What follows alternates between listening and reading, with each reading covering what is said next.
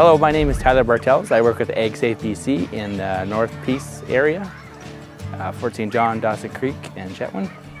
So uh, one tip that I would suggest to all farmers to ensure that if you are hiring employees that you do have a health and safety program that is in place so that you can uh, ensure that you're meeting the WorkSafe regulations and ensure that your workers are working safely.